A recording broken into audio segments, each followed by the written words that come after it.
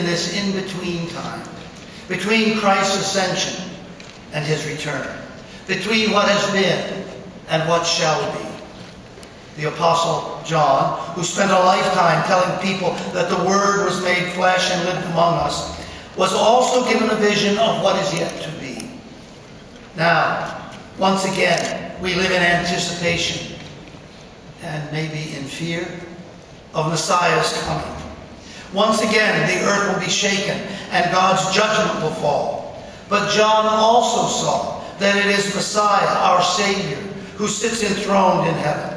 That the conquering lion is the sacrificial lamb.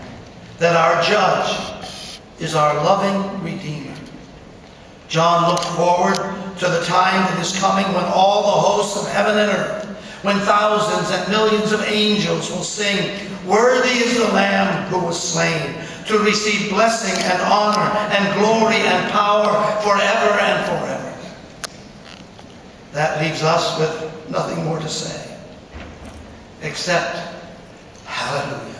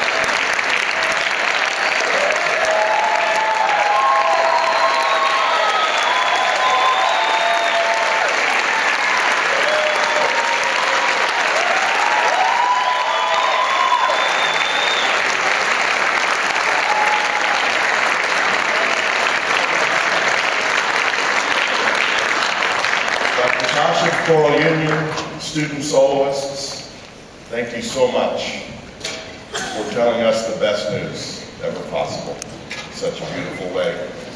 Friends, Romans country people, if you have never heard Messiah performed with full orchestra, please come back this Sunday evening at 7 p.m. right here. And you will experience something that words cannot describe.